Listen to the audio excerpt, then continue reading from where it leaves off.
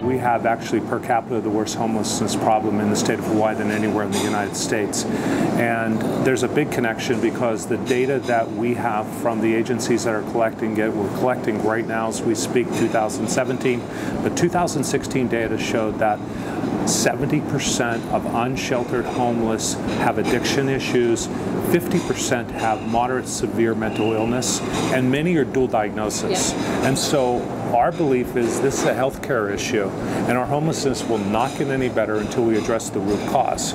So now what we're doing is we're unfortunately addressing it when it's the most difficult and the most expensive, where these people are all seriously addicted, they're living in the streets, they're living under the bridges. We need to start rolling it further and further and further in the prevention way so that we don't let homelessness occur. So it's an unfortunate occurrence that we have to be aggressive on, and that's where it ties into addiction and overdose and access to care. As in other areas, we need more mental health services, we need more outreach services, we need more mental health beds, we need more step-down facilities.